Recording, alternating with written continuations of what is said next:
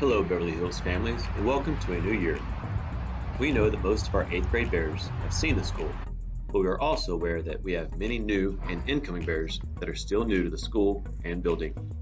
So we're going to take a few moments to show you around and let you know what we here at Beverly Hills are all about and what we have to offer. Beverly Hills Intermediate first opened in 1964, and we moved into our current campus, the old Dobie High School, in 2003.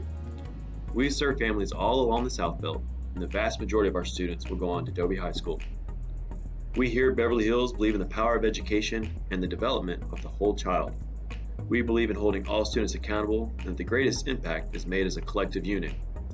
Our teachers work passionately to ensure that each student has the chance to be successful both in and out of the classroom, using a balance of both relationships and structure.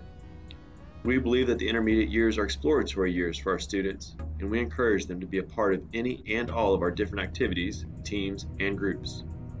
We have an award winning fine arts department, championship winning athletics program, nationally ranked pentathlon teams, and superior dance, cheer, and chess teams.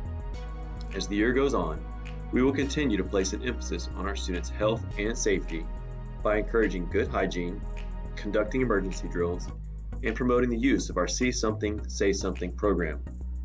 We look forward to seeing each and every student as the year moves on and developing meaningful relationships along the way. Go Bears!